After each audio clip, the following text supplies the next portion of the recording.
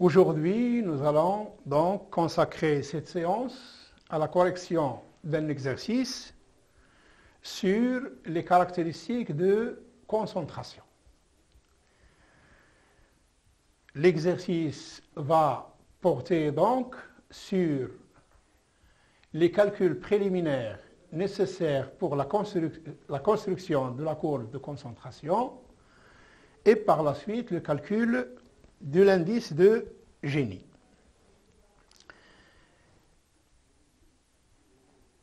L'exercice est le suivant. Il s'agit d'une enquête réalisée par le ministère de l'Agriculture sur 320 exploitations agricoles selon la surface des exploitations. Le tableau suivant, donc, sera nécessaire pour la construction de cette courbe. Sur le tableau, donc, vous avez les classes de surface et les effectifs des exploitations. Le total des exploitations est de 320 exploitations, dont 170 ont une surface qui va de 1 à 5 hectares, 80 exploitations ayant une surface de 5 à 10 hectares, 30 exploitations ayant une surface de 10 à 40 hectares,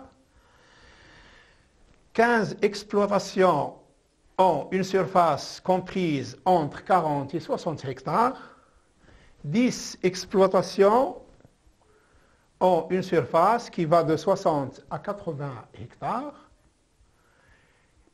9 exploitations seulement qui ont une, surface comprise entre 80 et 120 hectares, et enfin 6 exploitations qui ont une surface comprise entre 120 et 200 hectares.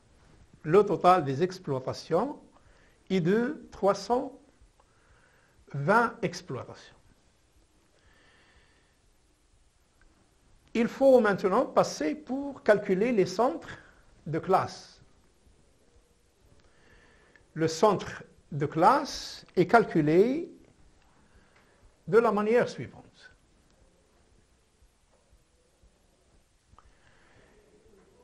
La borne inférieure de la classe plus la borne supérieure divisé par deux.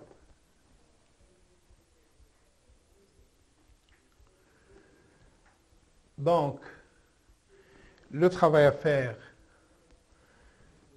consiste à compléter le tableau, ensuite de tracer un diagramme, ou bien dans un diagramme cartésien, en abscisse, il faut porter les effectifs cumulés croissants en pourcentage, FCC, sur l'axe des Y, c'est-à-dire l'axe des ordonnées, les NI, CI, c'est-à-dire la surface, en pourcentage cumulé croissante. Ensuite, il faut tracer sur le même, graphique la droite, la bisectrice, la diagonale, ou les effectifs cumulés croissants des exploitations en pourcentage seraient égaux à la surface cumulée croissante en pourcentage. C'est une droite ayant pour fonction y est égal à x. Et enfin, la dernière question, il s'agit de déterminer graphiquement et par le calcul combien occupe 80% des exploitations de la surface totale. On commence donc par calculer les centres de classe. Comme je l'ai déjà signalé, la borne inférieure plus la borne supérieure divisée par deux. Les centres de classe sont les suivants. Donc pour la première, c'est 1 plus 5 divisé par 2 égale 3. 5 plus 10 divisé par 2 égale 7,5 et ainsi de suite. 25, 50, 70, 80 plus 120 ça fait 200 divisé par 2 ça vous donne 100, etc. Ensuite, on passe pour calculer les effectifs cumulés croissants. Il faut cumuler ces effectifs. Donc on a 170 plus 80, ça fait 250. Donc 170 plus 80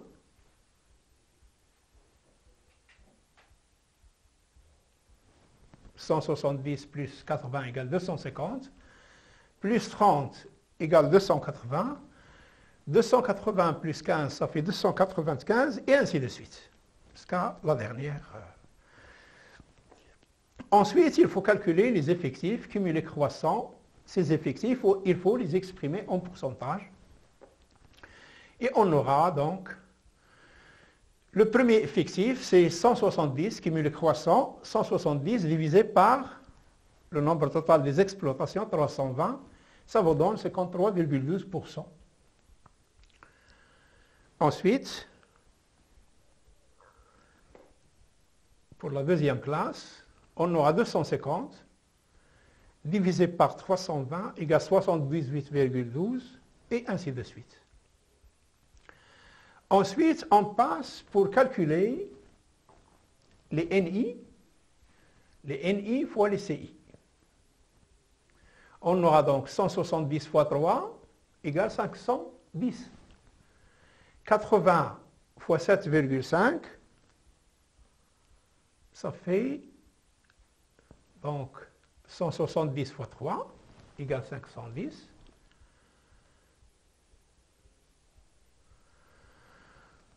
510. Ensuite, 80 fois 7,5 égale 600. 30 fois 25 égale 750. Et ainsi de suite. On aura une somme, de 5170. C'est la surface totale de toutes les exploitations. De tous les 320 exploitations ont une surface totale de 500, 5100 70. On cumule maintenant les NSCI. On va calculer les NSCI cumulés croissants. On aura donc 510 plus 600, ça fait 1110. 1110.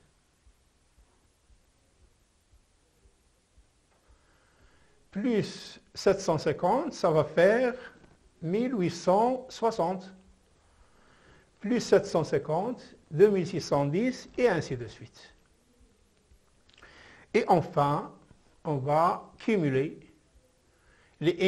on va calculer le pourcentage des NICI cumulés croissants, c'est-à-dire 510 divisé par 5170, ça vous donne 9,86. Ensuite, 1100 10 divisé par 5170, ça vous donne 21,47%. 750 divisé par, plutôt 1860 divisé par 5170 égale 35,98 et ainsi de suite. Bon, essayons de faire une lecture de, des données qui se trouvent dans ce tableau. 80 exploitations ont une surface comprise entre 5 et 10. 7,5 signifie que le centre de cette classe, que la surface moyenne des 80 exploitations ayant une surface comprise entre 5 et 10 est de 7,5 hectares. C'est-à-dire que si on, répartit les exploitations ayant une surface comprise entre 5 et 10, sur les 80 exploitations, on aura une exploitation moyenne qui aura pour surface 7,5 hectares. 250, c'est quoi? C'est la somme des deux effectifs, 170 plus 80, 170 plus 80, ça fait 250. 250 signifie que il y a 250 exploitations qui ont une surface inférieure à 10 hectares, c'est-à-dire comprise entre 1 hectare et 10. soit 78,12% du total des exploitations. Que signifie maintenant 600 600 signifie que les 80, les 80 exploitations ayant une surface comprise entre 10 et 5 hectares ont une surface totale de 600 hectares. Donc 80, 80 exploitations qui ont une surface comprise entre 5 et 10 hectares, ils ont au total une surface de 600 hectares. 1110. 1110 signifie que les 250 exploitations, la somme de 170 et 80, dont donc les 250 exploitations dont la surface est comprise entre 1 et 10 hectares, ils ont une surface totale de 1110 hectares. Donc les 250 exploitations dont la surface est comprise entre 1 et 10 hectares et qui ont une surface totale de 1110 hectares représentent 21,47% de la surface totale. C'est à partir de ce tableau donc qu'on commence à sentir la concentration, s'il est forte, faible, moyenne, etc. Essayons par exemple de lire les deux chiffres, 92,18 avec 50,48, les deux chiffres. L'effectif cumulé croissant des exploitations exprimé en pourcentage avec la surface cumulée croissante exprimée en pourcentage. Cela signifie que 92% des exploitations n'ont que la moitié de la surface totale. Donc, on peut dire qu'il y a une forte concentration. Car les 7,82% qui restent, soit 8% à peu près, qui restent, ont l'autre moitié. Donc 8% des exploitations ont la moitié de la surface, totale, et l'autre moitié, il est détenu par 92% des exploitations. On passe maintenant pour construire la courbe de concentration. Pour construire cette courbe, cette courbe appelée courbe de concentration ou courbe de Lorentz, il faut tracer un diagramme cartésien dans lequel il faut porter les sur l'axe des abscisses les effectifs cumulés croissants en pourcentage des exploitations et sur l'axe des ordonnées, l'axe des Y, on porte la surface cumulée croissante en pourcentage. Et on trace d'abord la bisectrice, cette diagonale. Que signifient les points qui se trouvent tout au long de cette droite? Signifie que 10% des exploitations détiennent 10% de la surface.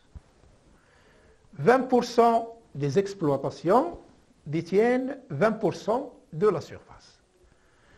30% des exploitations détiennent 30% de la surface, et ainsi de suite. 90% des exploitations ont 90% de la surface et la totalité des exploitations, c'est-à-dire 100%, détiennent la totalité de la surface. Donc, donc, les points qui se trouvent sur cette droite expriment une, une répartition du sol agricole parfaitement égalitaire.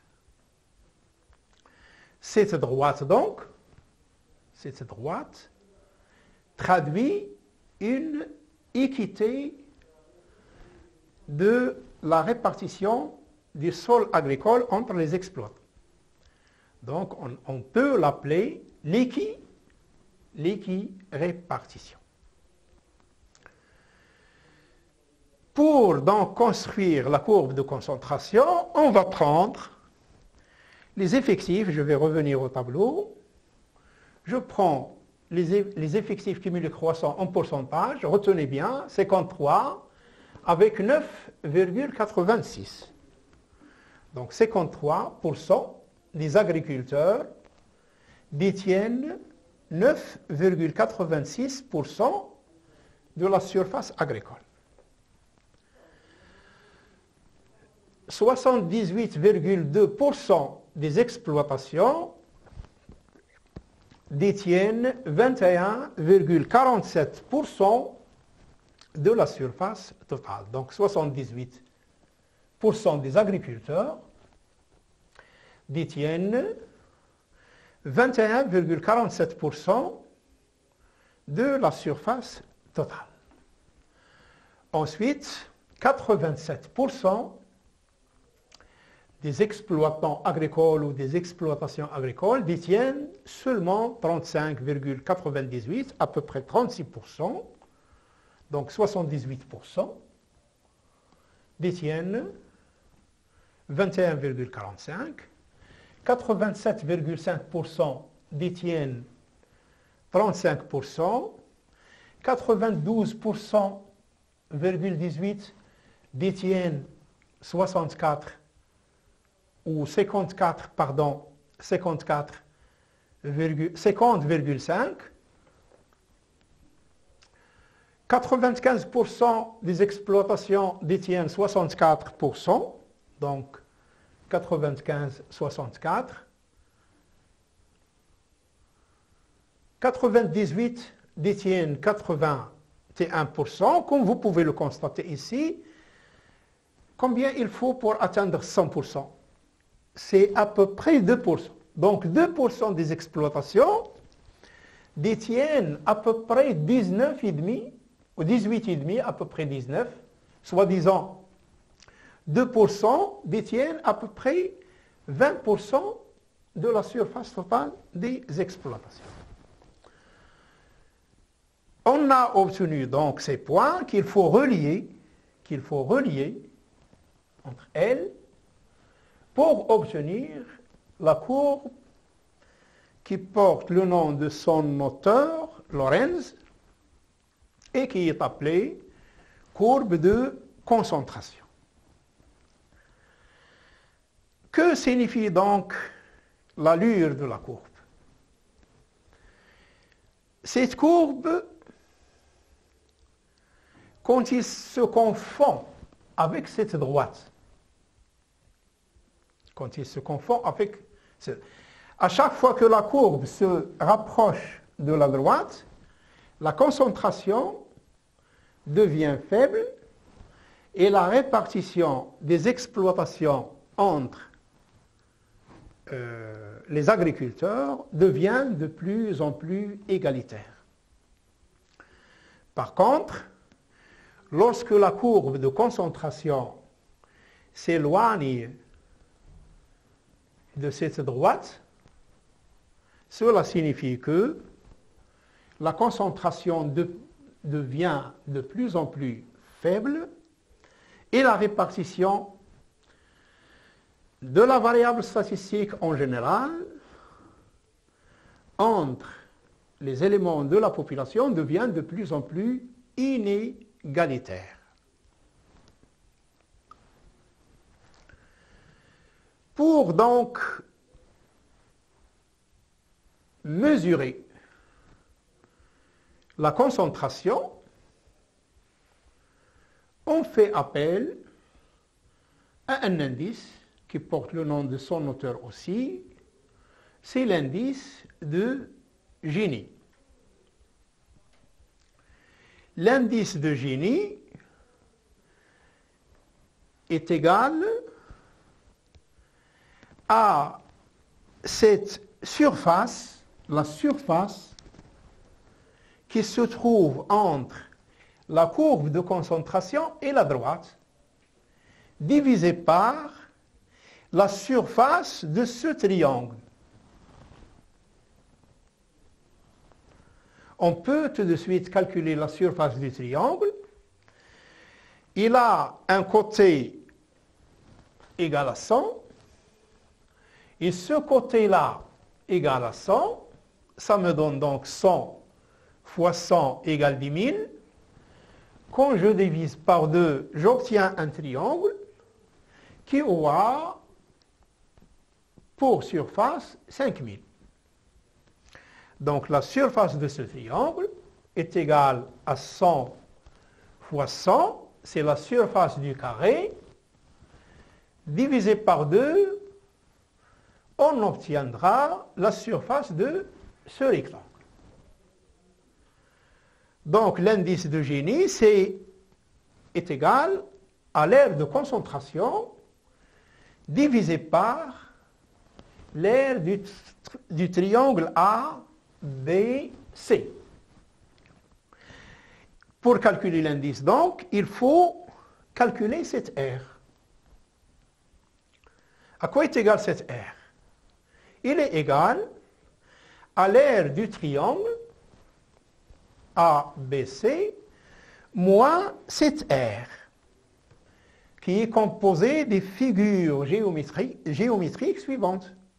Il y a d'abord un triangle, et l'air 1, l'air 2, l'air 1, l'air 2, l'air 3, l'air 4, l'air 5, l'air 6 et l'air 7. Il faut donc, pour obtenir l'air de concentration, calculer l'air 1 plus 2 plus 3 plus l'air 4 plus l'air 5 plus l'air 6 plus R7. Et on prend 5000 moins l'air de l'air qui se trouve entre la courbe de concentration et les deux côtés du triangle, ce côté et celui-là. Donc, il faut calculer cette R. Donc, l'air de concentration, c'est 5000 moins cette R que nous allons calculer pour pouvoir calculer l'indice de génie. L'indice de génie, donc, aura une valeur parce que cette R divisée par 5000 sera comprise entre 0 et 1. Lorsque l'indice de génie est, est, égal à 0, ça veut dire que l'aire de concentration est nulle, et dans ce cas, cela signifie que la courbe de concentration se confond avec la droite. Donc on aura 0 sur 5000 est égal à 0, une parfaite répartition. Lorsque la courbe de concentration se confond avec les deux, côtés du triangle, cela signifie que l'aire de concentration sera égale à 5000 et donc l'indice de génie sera égal à 5000 divisé par 5000 est égal à 1. Cela signifie que la répartition est très inégale et fortement, et parfaitement plutôt, parfaitement euh, inégalitaire. Voilà donc pour euh, la réponse aux questions, la séance prochaine, Inch'Allah, sera consacrée au calcul et à l'interprétation de l'indice de Gini. Je vous remercie pour votre attention. Je vous souhaite bon courage et à la prochaine séance.